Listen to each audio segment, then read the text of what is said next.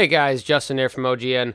In this video, we're looking at the Killzone Universe player card icon pack. This pack contains 10 additional player cards, including the Eviction, the Statue, the Cassandra, the City, the Slums, the Scarab, the Spire, the Helghan Planet, the Stahl Base, and the VSA HQ.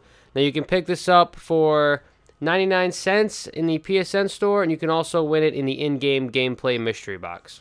Now, if you're interested in some more DLC for Killzone, go ahead and click on the video at the end of this video to check out the Places of Shadowfall player card icon pack. If you want to see some other content for Killzone Shadowfall, such as a walkthrough, a collectibles guide, or the complete trophy guide, go to my channel where you can find my Killzone Shadowfall playlist. Also, don't forget to comment, like, and hit that subscribe button to see when I upload new Killzone Shadowfall videos, as well as first impressions, playthroughs, trophy guides, reviews, and a whole lot more on a bunch of other games. Thanks for watching, and I'll see you next time.